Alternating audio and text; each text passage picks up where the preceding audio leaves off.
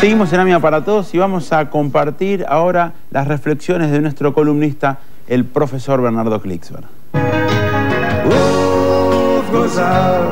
Existe una campaña sistemática desde hace muchas décadas de tratar de aislar y de boicotear al Estado de Israel en los foros internacionales y en eh, todas las áreas eh, en que eso le puede causar daño. Eh, a los 60 años de la existencia del Estado, esa campaña sigue activa, hoy encabezada por el presidente de un país muy importante, como es Irán, que independientemente de lo que de cualquier otro orden de consideración ha desatado una campaña de odio sin límites y de boicot sin límites eh, que en última instancia está pidiendo la destrucción del Estado de Israel. Esa campaña ha sufrido un revés muy importante hace muy poco tiempo en las Naciones Unidas. Eh, Israel presentó eh, por segunda vez en la historia del Estado una moción presentada por el Estado de Israel que fue aprobada por la Asamblea General. La primera moción presentada por el Estado de Israel, que fue acompañada por más de 120 países y aprobada por la Asamblea General, fue la que instituyó el Día de Recordación del Holocausto, eh, en donde las Naciones Unidas ha fijado desde hace dos años un día para que todo el género humano recuerde el holocausto. Esta otra moción eh, se refiere a cooperación técnica en el campo de la agricultura con los países más pobres del mundo. Eh, hubo intentos de boicotear totalmente la moción porque había sido presentada por el Estado de Israel, encabezados por todo este eh, conjunto de actores internacionales que quieren condenarlo al ostracismo. Eh, fueron derrotados. 111 países acompañaron a Israel en la presentación de la resolución y la resolución fue aprobada por una mayoría abrumadora en la Asamblea General de las Naciones Unidas. Si hay un país que puede eh, pedir eh, y apoyar y ofrecerse para intensificar la cooperación técnica en el campo de la agricultura, es Israel. Desde sus orígenes dio una cooperación técnica fenomenal a los países pobres africanos.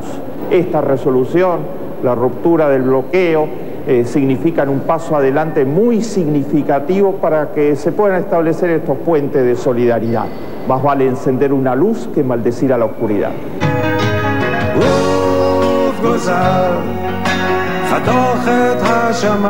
Nos metemos ahora en el mundo del teatro porque en la AMIA se dio una función de la obra llamada Me llamo Bertolt Brecht, inspirada por, supuesto en la vida de Bertolt Brecht, especialmente en su exilio. En esta obra hay también fragmentos de este genial dramaturgo. Vamos entonces a conocer algunos detalles de la obra Me llamo Bertolt Brecht.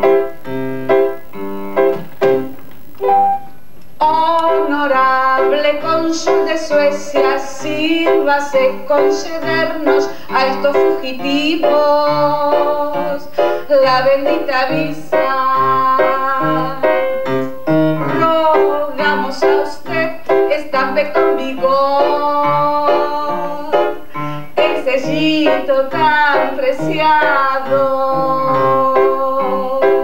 Cuando Sammy Salenberg eh, vino a la Asociación de Actores, eh, porque trabajo en Derechos Humanos en la asociación y además soy secretaria de Relaciones Internacionales, eh, leí el libro y me interesó el hecho de que tres actores en la época del nazismo tengan que pasar de un país a otros este, y me hizo retrotraer a nuestro lamentable hecho del año 76 y creo que siempre eh, todos estos regímenes persiguen, lo primero que persiguen es a la cultura y a la gente pensante. Me entusiasmó mucho la historia, el recorrido de los tres actores desesperados pasando de un país a otro hasta llegar a Estados Unidos, donde eh, procesan a Brecht y Brecht se tiene que ir de Estados Unidos porque le toca el macartismo. Sami Sarenbe me convocó para hacer este personaje que hago de un actor que viene huyendo de Alemania en la época de la guerra, cuando Hitler asume el poder en Alemania. Y es un documento precioso eh, ayuda a memoria de lo que nos pasó o lo que le pasó al mundo en, esa época. Y nosotros ahora estamos recreándolo con proyecciones y canciones de Bertolt Brecht, que es realmente algo exquisito. Me llamo Bertolt Brecht. Se trata de la vida eh, casi total de este gran dramaturgo y poeta que se llamó Bertolt Brecht, de su vida en el exilio. Bertolt Brecht ya era conocido por, por su obra en casi toda Europa, también sus poesías, por su famosa obra La ópera de tres centavos.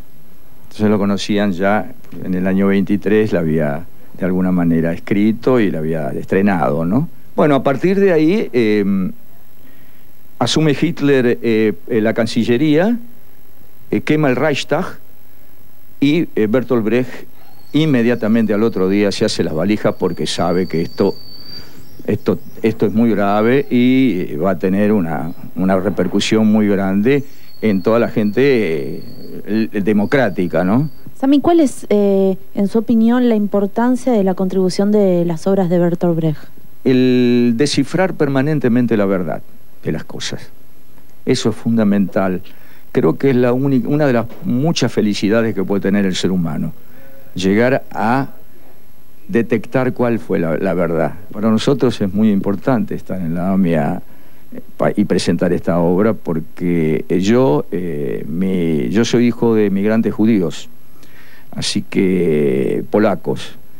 Así que nunca pude conocer a mis abuelos, no pude conocer tampoco a, mis, eh, a mis tíos, que eran muchos. Lo único que sabía que mi madre, yo nací acá en la Argentina, y que mi madre lloraba porque ya no lo podía traer y la guerra estaba ahí presente y después se armó el gueto, así que eh, a mí, para mí es un honor y, un orgullo estar acá y transmitirle a, mi gente eh, esta cosa, que yo la sentí para hacerla. El día de hoy se encuadra en una propuesta del Departamento de Cultura para todo el año 2008, que era rescatar todas las obras de teatro que se dan en la Argentina y otras obras que nosotros incentivamos que se den en la Argentina que rozan la temática judía. Esta es la propuesta de mostrar distintas eh, áreas eh, del buen teatro que apela a la convivencia de la gente, que apela al recuerdo, que apela a la nostalgia, que apela a la justicia, que apela al entendimiento entre las distintas razas y culturas para mostrar un calidoscopio de, de, culturas y de etnias que en la medida que se conozcan mejor pueden vivir en mayor armonía.